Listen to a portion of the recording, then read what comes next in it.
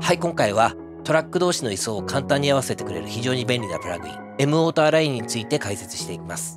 プラグインを使用する前に、まずは位相の概要を把握しておきましょう。一番下、こちらサイン波を用意しています。この波形を拡大していくと、このように波になりますね。この波のことを位相と言います。例えばですね、このトラックを複製して全く同じものを作ります。今はですね、どちらも同じ波形になっていますので、このように再生されますが、一方の波形の位相を反転させます。このように鏡で映したように全く逆の位相になります。この状態を逆相と呼びます。この段階でサウンドを確認してみますと、このような形で波形同士が打ち消し合って無音になってしまいます。一度波形戻します。次はこの波形を全くの逆ではなくて少しずらしてみますね。元々のサウンドがこちら。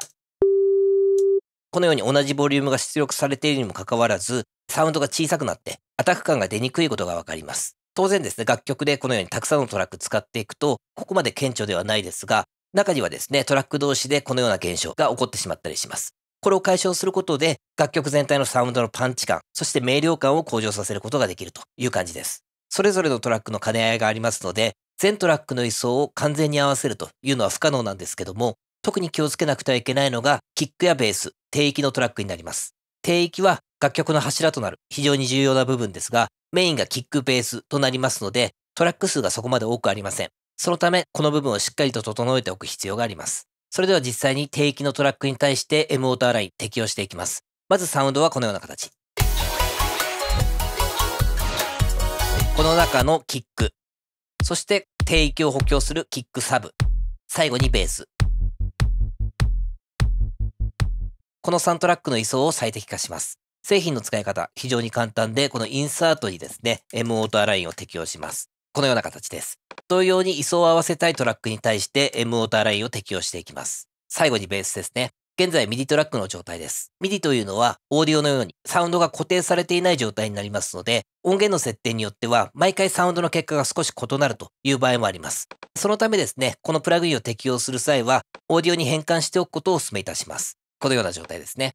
波形に変換しましたら M オートアラインを入れます。このようにですね、プラグイン立ち上がりましたら、一番最初、このグループ設定を行います。ここからですね、グループを指定して、同じグループ同士の位相が最適化されるという形です。例えばですね、楽曲の中でシンセサイザートラック3つの位相を合わせたいと言ったときは、定期とは違うグループにすることで、サウンドの解析をそれぞれ分けて行うことができるという形です。グループを見てみますと、あらかじめこのように名前が付けられていますが、特にこれを選んだからといって設定が変わるというものではありません。そのためですね、今はこちら A にしておきます。このようにキックサブ、そしてベースも同じ A ということになりますね。あとは M オートアラインに各トラックの位相を解析させます。同じグループでしたらどれでも構いません。このアナライズボタンを押すだけです。ただその前に一つ注意点があります。位相調整の結果は解析する箇所に依存します。そのため、楽曲中のどこを基準にして位相を合わせるのかというのを決めて、その部分を再生しながらアナライズを行うと言ったところがポイントになります。それでは解析を行います。まず再生して、その次にアナライズを入れます。このように解析が始まります。はい、解析が完了しました。このように各プラグインの下に数字が表示され、位相を合わせるためにどのぐらい再生タイミングをずらしているかということを確認できます。このベースの数字をご覧いただきますと、すべて0。これはベーストラックを基準にキック2つを合わせたということを表しています。実際にサウンドを確認してみましょう。バイパスオールを押すことで、同じグループ内の設定が一斉にオフになります。まずは before。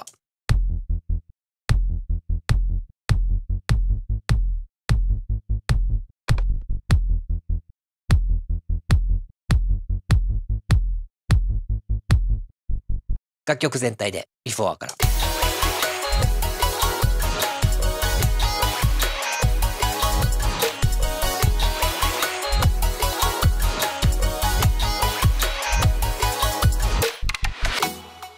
アタック感がしっかり出て、太さや聞きやすさもアップしています。使い方はシンプルで、基本これだけで OK という形です。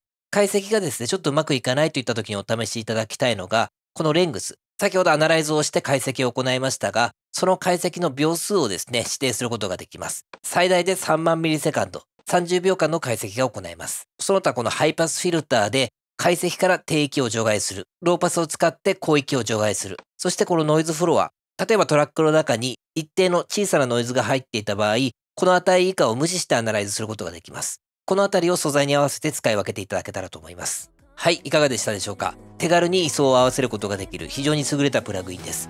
さらに上のミキシングクオリティを目指したいといった方にお勧めできるプラグインですので、ぜひチェックしてみてください。